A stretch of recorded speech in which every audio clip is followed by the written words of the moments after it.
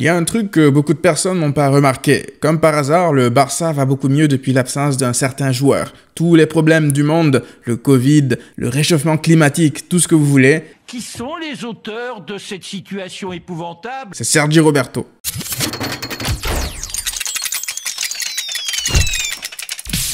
Oui, je l'assume, mon attaque était totalement gratuite sur Sergio Roberto, mais bon, ce n'est un secret pour personne, ce joueur-là, je ne le porte pas dans mon cœur. Bonjour à toutes et à tous, bienvenue pour cette nouvelle vidéo. Je vais vous parler des pépites qu'on risque de voir sous peu au Barça en équipe première. Avant d'aller plus loin, cette vidéo est sponsorisée par l'application OneFootball, c'est l'application numéro 1 mondiale qui traite de l'actualité du football. Elle est gratuite, elle se trouve sur Android ainsi que dans l'App Store, je vous mettrai le lien personnel, mon lien personnel dans la description. N'hésitez pas à la télécharger à travers ce lien. Ça me soutient, ça soutient la chaîne et en plus, ça vous tient informé. La Masia aujourd'hui à l'honneur. Alors, je ne sais pas si vous avez suivi, mais Johan Laporta, lors de son premier jour à la présidence du Barça, il est parti au centre de formation à la Masia. Il a rencontré les jeunes. Il a sorti une phrase assez intéressante. Il s'est adressé aux jeunes en leur disant J'aimerais vous voir plus souvent en équipe première. Alors, dit comme ça, ça peut paraître anodin. Je vous l'assure, ça ne l'est pas. Pourquoi? Parce que tout d'abord, sachez que la Masia a été au cœur du projet de Johan Laporta durant sa campagne, et ce n'est pas les paroles en l'air, c'est quelque chose qu'il a déjà effectué par le passé, ne serait-ce qu'économiquement, le Barça ne peut pas se permettre d'acheter à gauche, à droite, alors qu'il y a des jeunes talents à la Masia, et ce ne sont pas des paroles en l'air, parce qu'historiquement, Laporta, c'est toujours basé sur la Masia pour développer le Barça, essayer de développer les jeunes, les faire monter en équipe première, et ainsi combler les manques sur le marché des transferts, pas acheter des stars à gauche, à droite pour combler l'équipe au complet. Nous avons donc eu sous la présidence de Laporta l'émergence de joueurs tels que Xavi, tels que Iniesta, tels que Busquets, tels que Messi, des cracks tels que Jeffren, tels que Boyan, tels que Sergi Roberto.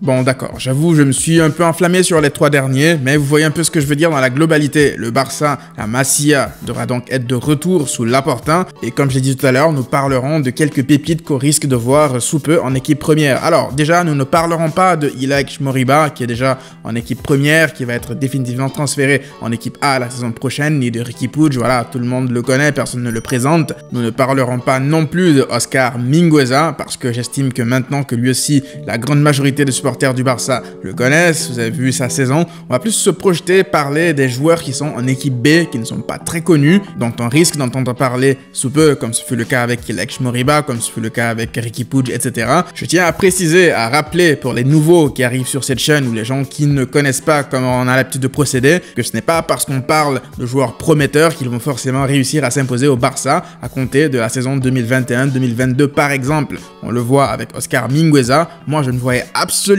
pas Mingueza s'imposer comme un joueur important de l'effectif. Les joueurs n'ont pas tous la même évolution, le même développement en quittant le centre de formation, donc faudra garder ça dans un coin de la tête durant cette vidéo. On est tout de suite parti avec Jandro Orellana. Alors moi, j'ai un terme pour expliquer assez simplement qui est Jandro Orellana, pour le résumer pour vous, c'est le terme tacticien. C'est un joueur extrêmement intelligent tactiquement malgré son jeune âge. Il joue comme milieu défensif au Barça B. Il est assez polyvalent. Il peut également jouer comme relayeur un peu plus haut. C'est un joueur super intelligent, technique, qui lit très bien le jeu. Il a une intelligence situationnelle. Il sait toujours se placer comme il faut afin de créer des triangles, afin de créer du surnombre pour pouvoir se sortir du pressing adverse. En fait, si vous voulez, Orellana, me rappelle énormément Busquets avec plus d'explosivité et plus de force physique. Oui, de force physique parce que c'est un joueur qui va au duel. C'est un joueur quand même assez solide. Alors attention, je ne suis pas en train de dire par là que Orellana est égal à Busquets plus l'agilité, plus l'explosivité et la force physique, non. Parce que je vois déjà d'ici certains arriver en scooter dans les commentaires.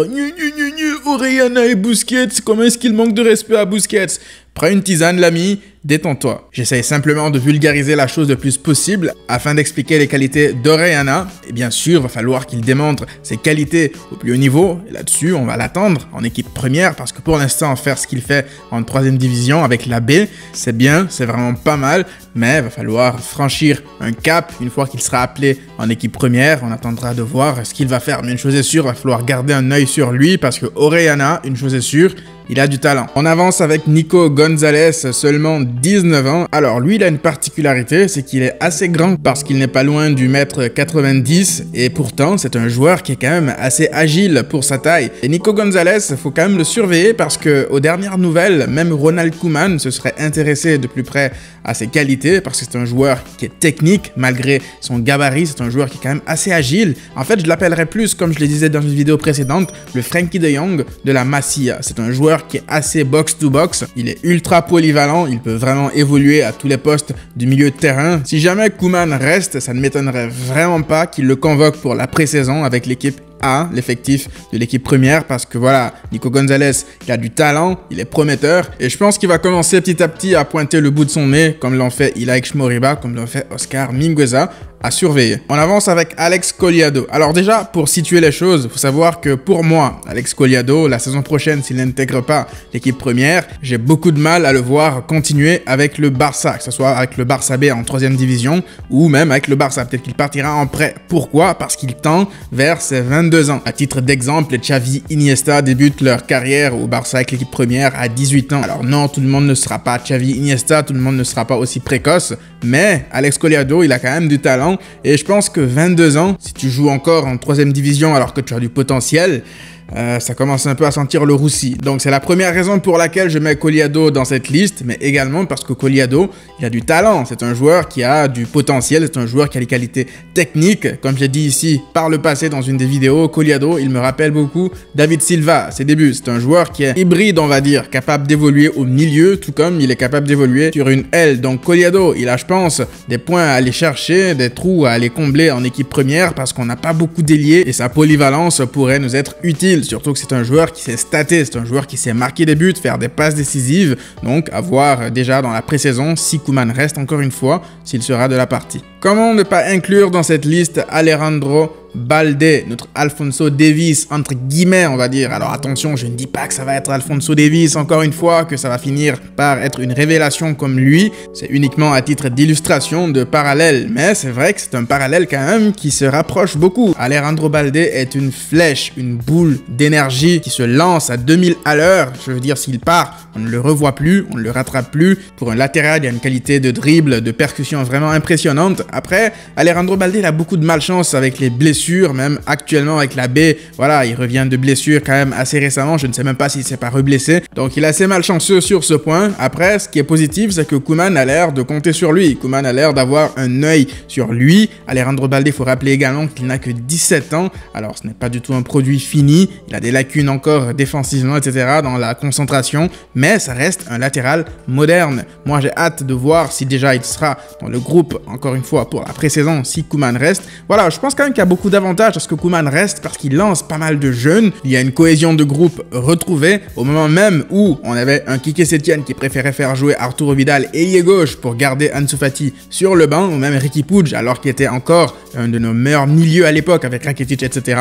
Donc, on ne peut pas retirer à Kuman le fait de ne pas intégrer les jeunes, à savoir Pedri, à savoir Ilaix Moriba, etc. Donc, à surveiller ces jeunes qui pourraient faire leur apparition sous peu avec l'équipe première du Barça. J'aurais pu parler également de Conrad de la Fuente, mais comme je l'ai dit ici, je ne vois pas Conrad comme un crack, un joueur qui pourrait vraiment marquer une génération au Barça, parce que voilà, moi je vois Conrad comme un ailier intéressant, brutal dans les éliminations, etc. Je vois plus comme un joueur de complément. Surtout si le Barça essaye d'aller signer un joueur tel que Haaland, tel que Agüero, ça fera encore moins de temps de jeu pour un joueur tel que Conrad parce qu'Ansu Fati doit se développer aussi derrière. Donc comme je l'ai dit, Conrad, je le vois plus comme un joueur de complément. J'aimerais terminer par un petit bonus. Alors lui, bien sûr, c'est un bonus parce que je ne le vois absolument pas tout de suite comme ça intégrer l'équipe première à compter de la saison prochaine parce qu'il n'a encore que 16 ans. Il s'agit bien sûr de Pablo Paez Gavira, dit Gavi, le magicien de la Masia. Donc on va attendre encore avant de s'enflammer parce que comme je l'ai dit ici, la transition entre le centre de formation et le football professionnel peut être brutale pour certains joueurs. Donc wait and see. J'aurais pu également parler de Ilias Akomash, mais lui aussi zéro chance qu'on le voit en équipe première la saison prochaine parce qu'il n'a que 16 16 ans. Donc attention quand même à pas s'enflammer pour des gamins qui doivent encore prouver des choses en équipe B du Barça en troisième division. Avant de terminer cette vidéo, je tiens quand même à rappeler que ceci n'est que mon avis personnel. Ça ne veut évidemment pas dire que ces joueurs-là vont tous finir en équipe première sous peu, mais avec la crise du Covid et la propension que Laporta a à valoriser les jeunes de la Masia, ça ne m'étonnerait pas de voir ces joueurs-là avoir leur chance en équipe ah, dites-moi ce que vous en avez pensé dans la section commentaires. Est-ce que vous connaissiez ces joueurs ou pas? Dites-le moi dans la section commentaires. On se retrouve pour le débrief du match face à la Real Sociedad ce week-end en espérant que ça soit une soirée de bonne humeur. D'ici là, prenez tout soin de vous et à très vite.